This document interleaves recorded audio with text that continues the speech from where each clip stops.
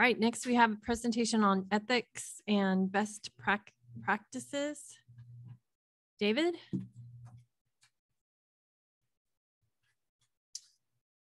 Good evening, Madam Mayor, members of the council.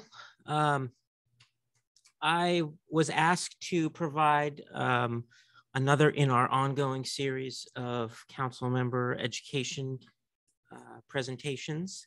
Last time, I believe we covered some of the Brown Act. And so this evening, um, Kevin asked if I would discuss some background and updates on conflict of interest laws. So I want to go over basically an overview once again. I think it's always worth um, an occasional reminder about how these how these complicated rules play out and how we need to think about them. And I also want to provide the council with an update on AB 1439, which is the law that regulates uh, that's that now regulates campaign contributions within the framework of the conflict of interest laws. Um, so uh, once again, I get to show you all the offices that are um, Wow. that are here to serve you, Lakeport. Um, so the Political Reform Act, as you may or may not know, was actually a voter-approved initiative um, passed in the wake of Watergate uh, as you know, really something that was looking at ensuring that public officials are performing their duties free from bias. And as you know, it is administered by the Fair Political Practices Commission in Sacramento. The Political Reform Act created the Fair Political Practices Commission. Uh, and that, it, just in case you didn't know, is, is the Watergate Hotel. And that was pretty cool. So, um, the Political Reform Act is the primary statute that governs conflict of interest that apply to local agencies. Um, the general rule that we need to keep in mind uh, when we're performing city business is that public officials are not to participate in or use their position, their official position, to influence governmental decisions in which you or your immediate family members have a financial interest, unless an exception applies. So we can talk about those. The Political Reform Act is aimed at financial interests. Okay, that is the entire focus.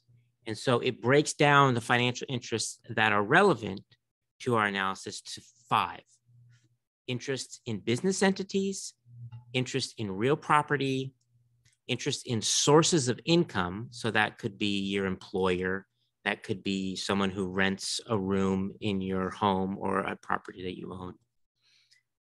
Sources of gifts, and this uh, idea of a personal financial effects, which is kind of a catch all for if it doesn't fall into one of these other categories.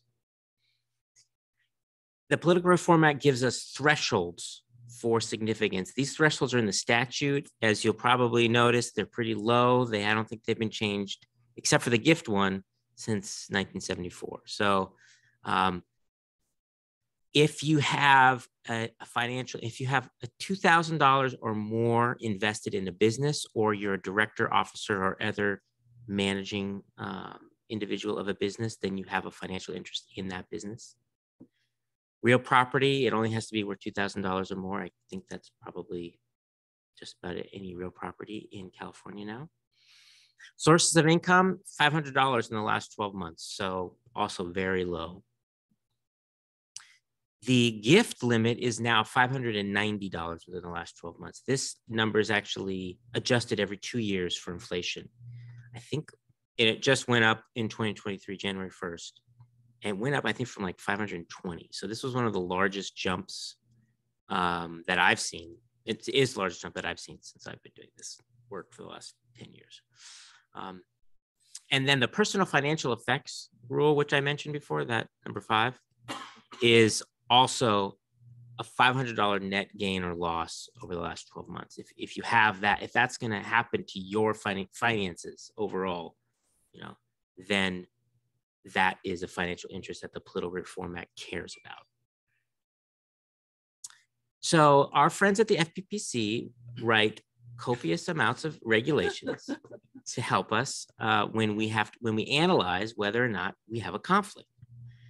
Uh, and they decided that I think there used to be like a seven step analysis, and now it's a four step analysis. So they basically just took a bunch of the steps and crammed them together. Um, but this is technically the analysis that you're supposed to undertake when you look at your agenda and you see something's on there that could maybe have some effect on one of the interests that I've disclosed in my Form 700 or even ones that I haven't, because like your home, you're not putting on your Form 700, even though it is a, a financial interest because it's a real property that's definitely worth more than $2,000. So the first step you have to ask is, is there a reasonably foreseeable that this governmental decision that I have to make is going to have a financial effect on one of my financial interests? So is it going to, is there going to be one, is it possible that my property value will go up by one penny or down by one penny because I'm going to make this decision um, on a zoning ordinance? If yes, then you have to keep going. If no, if there's just no way that there's going to be any financial effect, any effect on my finances, then then you don't have a conflict. If there is, you go to step two, and that's when you ask whether or not the effect is material. In other words, does the effect matter? And this is where you get into actually probably the bulk of the analysis under the Political Reform Act. There are uh, there is a regulation that relates to each of the five financial uh, um, interests that, that you may have that talks about when an effect is material. So most of you are probably familiar with the 500 foot rule when it comes to property. So what that rule says is that if you own real property that's located less than 500 feet from the thing that you're deciding on. So you know whether it's um, you know the design of a park or um, you know the, the, you know the amendment to the zoning code um, then the FPPC says you are presumed to have a financial interest. It's basically you would have to rebut that presumption with evidence. In fact you would actually probably need an opinion from the fair political practices commission that there is no possible way that this decision is going to affect your property. There's also another rule that talks about, well, what if my property is between 500 and 1,000 feet uh, from the location of the governmental decision? In that case, there's a slightly different regulation, and that one looks at whether or not um, it's going to impact the highest and best use of my property. Is it going to significantly affect traffic the view from my property, um, these types of things. So there's a, there's a kind of a list in the regulations that you look to to analyze. Um, and then the next is, well, what if it's more than a thousand feet? Well, then the FPPC says, well, the presumption is that there is no impact, that you that that wouldn't be a material impact. Excuse me, there's an impact, but it's not a material impact. But again, it's a presumption, and, and theoretically, there could be something that was that was such a big decision that it was going to affect your property outside of a thousand feet. And in that case, um, it's possible that you still could have a conflict. So there's really there's no bright lines, but there are sort of guide rails that the that the regulations give you when it comes to determining uh, materiality. So if you do have a material, uh, if it does look like it's going to be reasonable foreseeable material impact on your finances, then the question is, can the public official demonstrate that this material financial effect is indistinguishable from the effect on the public generally? And if you say yes, then there's no conflict, meaning that this decision, yes, this decision on my water rates is going to affect my finances, right? It's going to cause it's you know it's going to cause me to have to pay more money in water rates. Well, you know what? It's also going to make everybody else in the city pay more in their water rates. So there's nothing about the decision that impacts you any different than it does the general public. And in that case, it's okay to vote on that because if you couldn't, who could? Nobody. Uh, there, there are regulations again that demonstrate that, that talk about what it is to impact the public generally, and it's normally 25%. So if it's if you have a business, if your business is going to be affected by a decision, well, if that decision is going to affect at least 25% of the businesses, then um, essentially it's going to it's going to affect the public generally, and you don't have a conflict. There's a special rule now for um, your residential property that you live in your home. Um, now that's only 15% of all residential properties. Uh, but that's the analysis that you that you need to undertake. Um, if it's if if yours if your if the impact on you is different than the public generally, and you know, take the example of uh, you know water rates or something. Um, you know, maybe it the rates are going to affect you like anybody else, but if you own you know 50 housing developments in the city where you pay for the water then that's actually going to affect you differently than it's going to affect everybody else because you have a different type of an interest. In that case, you have a conflict. And so, as you know, then you go to step four. And if you have a conflict, then you have to recuse yourself unless there's an exception. And there's really two exceptions under the Political Reform Act.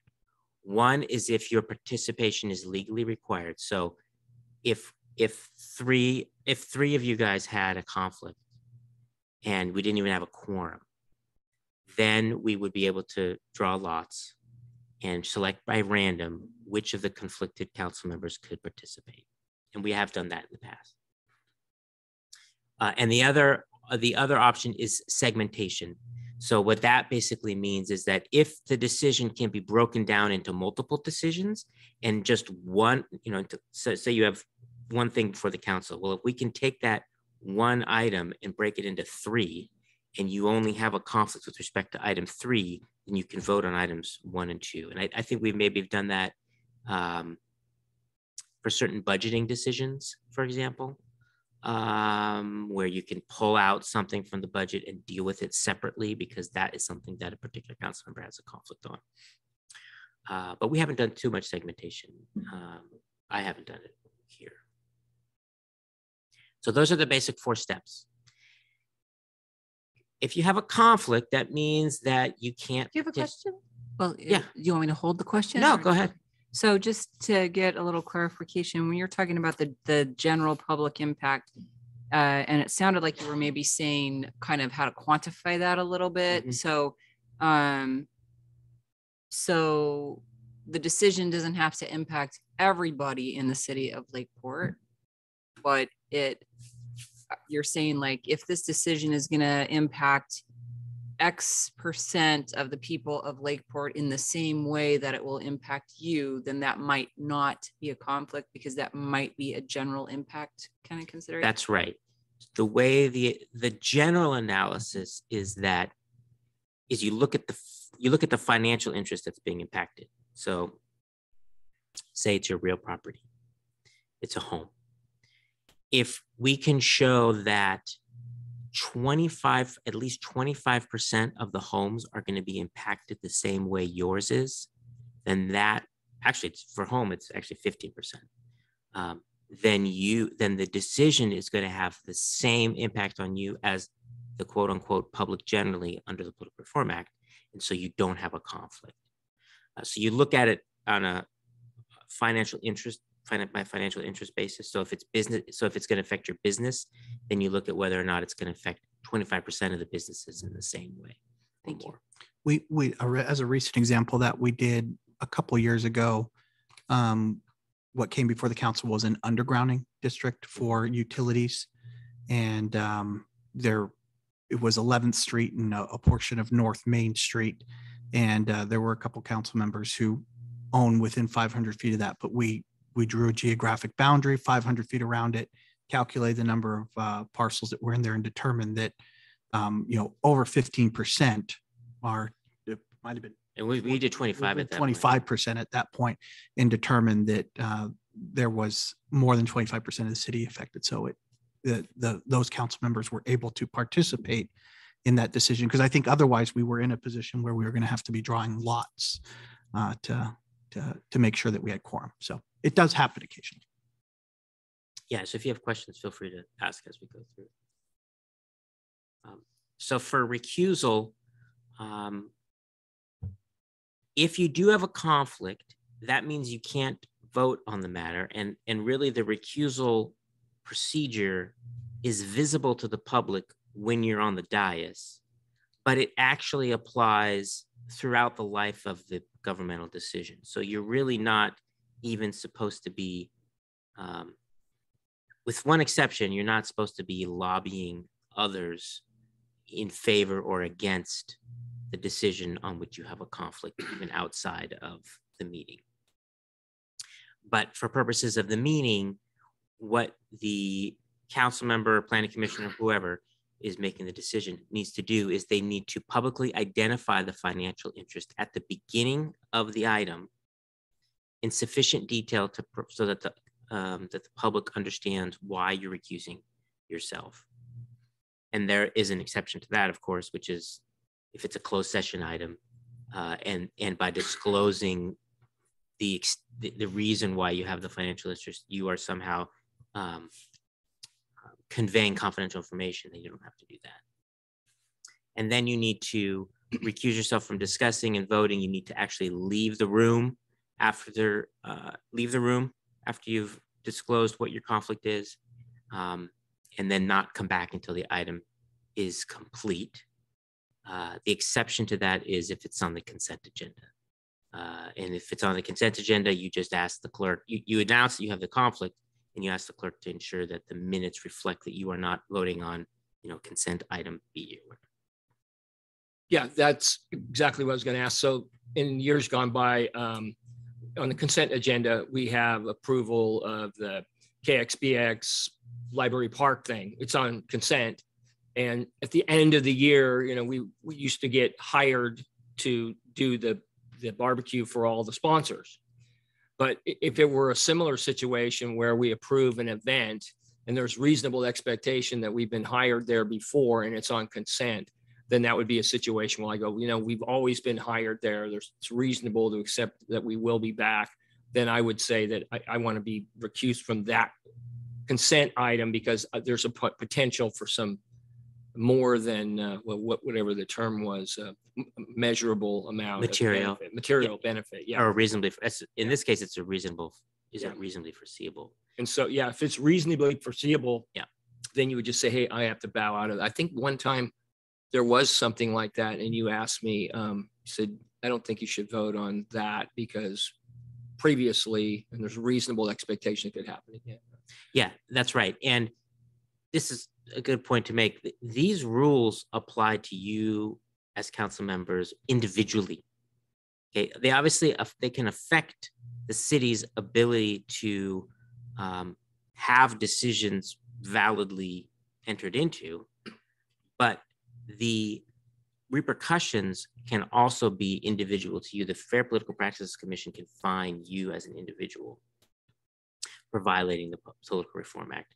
So it behooves you to disclose something like that and ensure that it's been included in the minutes because that is going to be your protection from if the FPPC ever asks about it.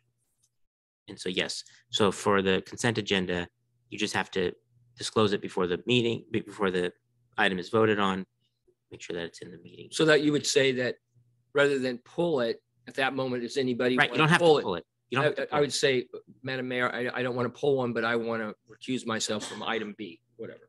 Right, because, Because I have A reasonable I- expectation that this of is going to having be a source of material income to me um, of five hundred dollars or more. Yep. There's also one other nuance, which is um, if you have a personal, like say, say, um, you know, say your home is near a potential development, um, and you can't vote on an item because of that. The Political Reform Act does understand, and the legislature did understand that council members don't give up their First Amendment rights when they become council members. So it does allow, even though you're supposed to leave the room, if you are the only one who can convey a, uh, personal interest to the council, then you are, there is limited ability to come and speak from the podium, not from the dais, as to your personal interest in a particular item. So that, that sounds like, um, I mean, you were very clear, but it's a little bit of a quandary because if it's my personal interest, then who besides me could be the only one to convey my personal interest? Right. So if it's your, if you're the only one who can, then you're allowed to leave the dais and sit in the chambers and then speak at the podium at public comment, just like the public. Who, who else could if it's? Well, for example, if you own property and you're married, your spouse probably has an equal um, interest in that property. The spouse could do it. If it's related to a business entity and it's a partnership and there are other partners, you know, consider having those individuals come and make those statements instead of, Thank you. instead of you. Um, contracts.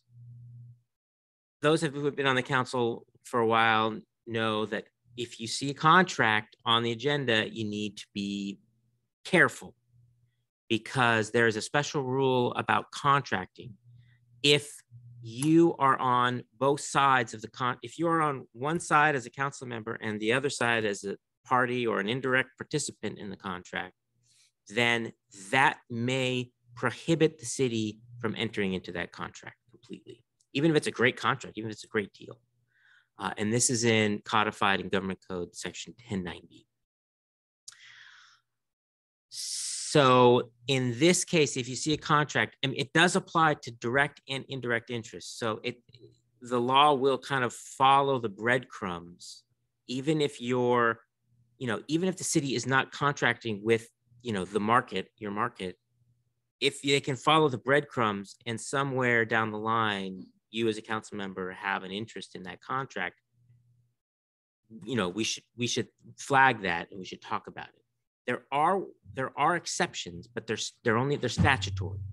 And you have to look at the remote interests in section ten ninety-one, which allow you, much like the Political Reform Act, they allow you to disclose the interest and recuse yourself, in which case the city can enter into the contract. And then there are also remote interests in ten ninety-one point five, which the legislature has basically said, this is not something to worry about. You can enter into the contract, you can vote on it. Sometimes there's a disclosure requirement, but you can still vote on it. Um, but it is important when that that we scrutinize contracts that come before the city because there are real uh, consequences, not just necessarily a fine. There are there willful violations is um, can get you in jail. Um, the contract benefits we have this the city have to give all of them back.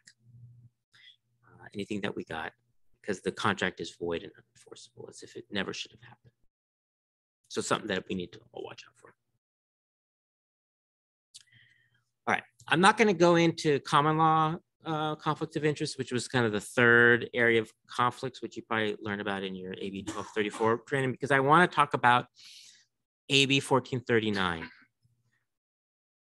AB 1439 is an amendment that was went into effect January 1st, and it amends the Levine Act. The Levine Act is part of the Political Reform Act.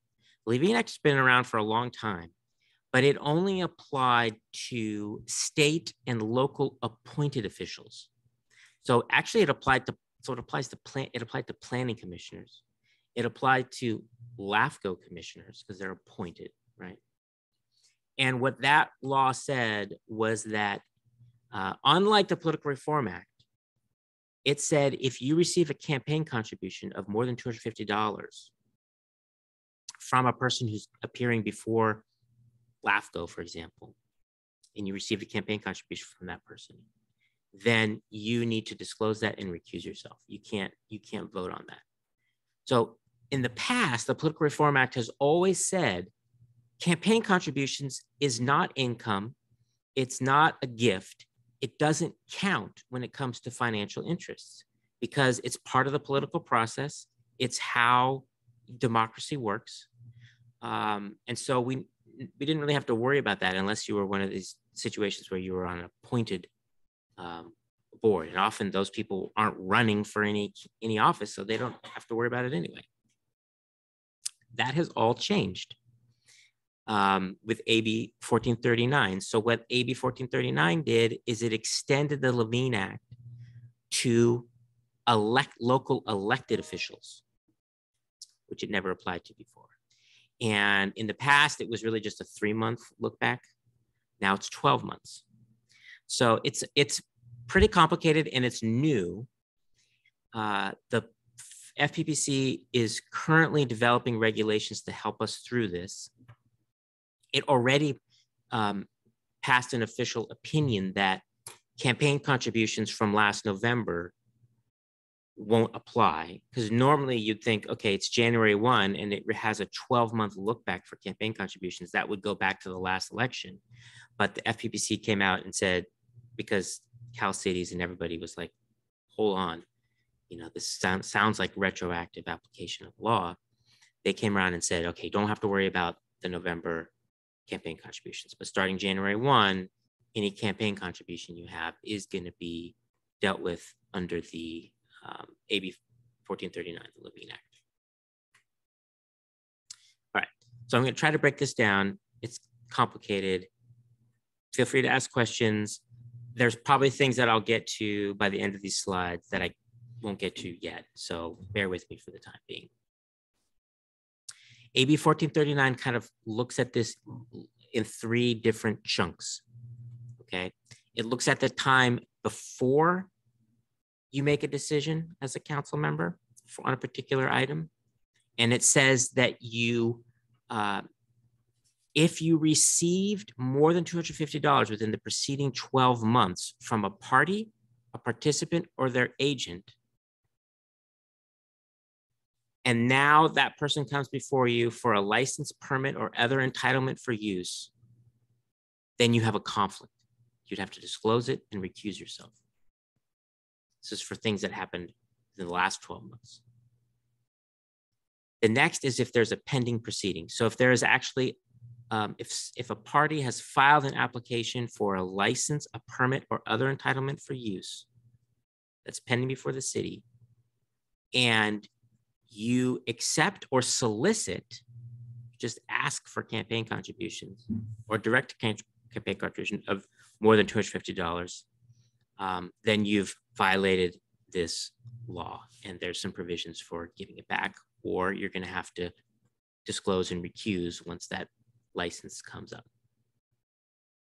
And then there's the post decision phase. So you went through this whole process, you, you uh, approved this contract with this party, and then 12 months later they contribute they try to contribute to your campaign um, with $251 that's a violation. Uh, you can't accept solicit or direct contribution of more than $250 from a party a participant or their agent involved in the decision for 12 months after the decision. Okay? If you do end up receiving this contribution, right, of over $250, you have to disclose that fact and recuse yourself from making the decision. That's for one, that's for when you receive this, the contribution in the 12 months before the decision, right? That's in the pre-decision phase. This is the result. You have to recuse. If you received it while it was pending, while the application was pending before the city, then you can return it within 30 days of the date that you know or should have known that this person who contributed had a had a pending application. You might not even know.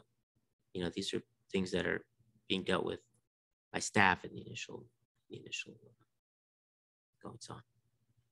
And then the third one is the post-decisional phase. So you made a decision, you awarded the contract, and then um, you get a cam- campaign co- contribution from that person of more than $250, you have to return it. You only have 14 days to return it. Um, and you can't have knowingly solicited it from the person knowing that they had a that they were a party to that decision so and it's very broad this law.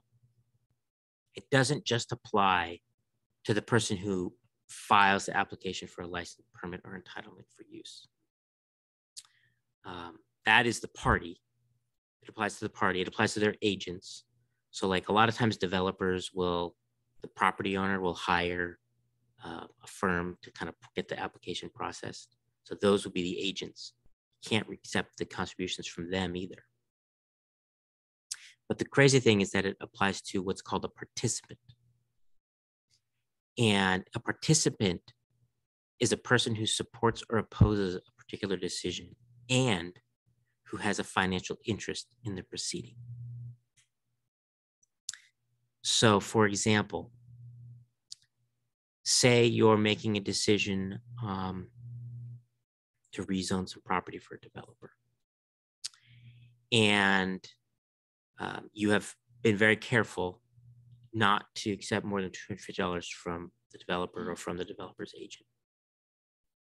But um, as you're sitting on the dais listening to public comment, um, one of your contributors comes up um, and says, I live within 500 feet of this development. You didn't know that. That person just indicated they have a financial interest. Um, Going to jail. and I oppose this, and I oppose this. You now have a participant in a proceeding who has donated more than $250 to you.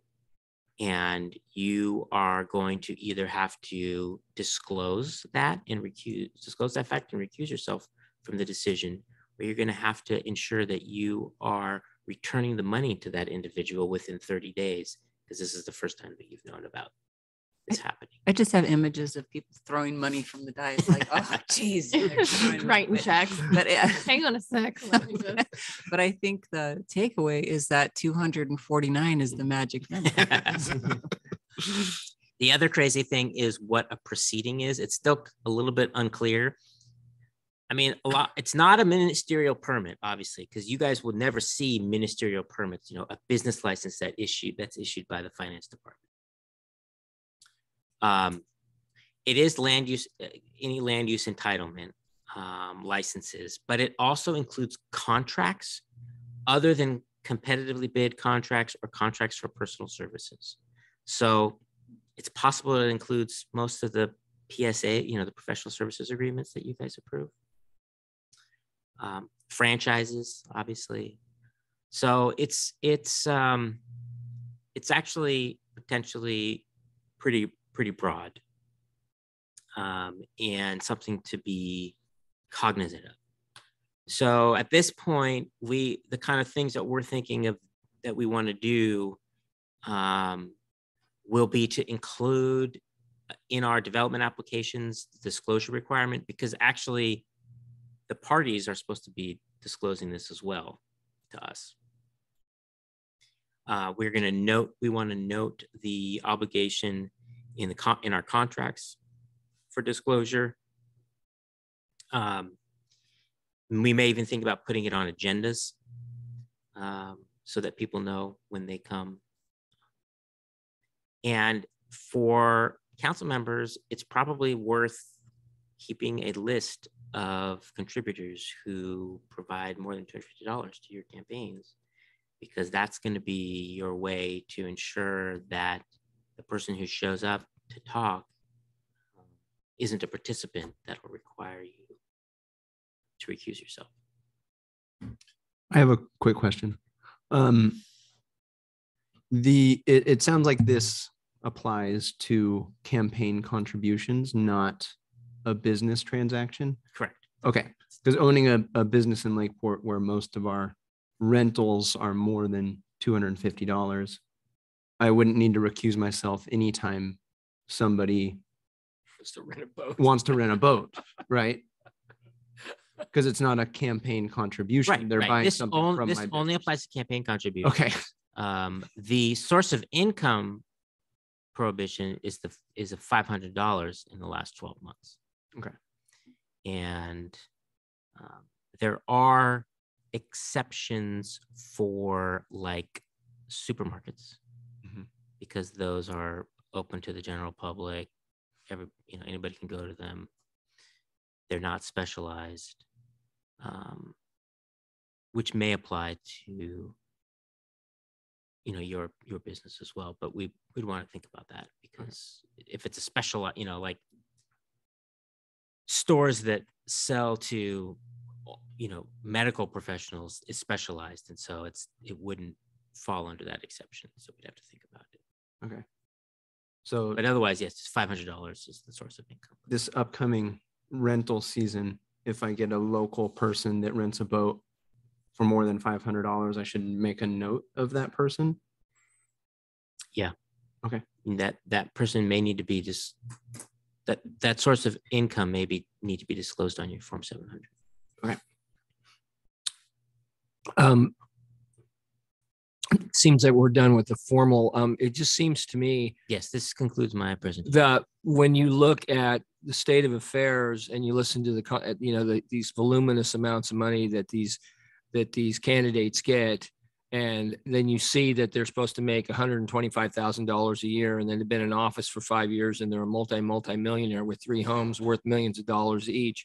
It, it- I, is anybody watching the big dogs or are they just coming after us local city council members? Because it seems like these things are just being run over roughshod and and I do they have better lawyers or they just tie it up and they wait till 30 years after they get out of office and they're a billionaire and they get to do whatever they want? But it seems like so many people in office like insider trading. I mean they they even talked about follow pelosi's plan and you know become a multi multi millionaire and she's in you know influential on certain things. The next thing you know she makes a couple you know million dollars over the weekend.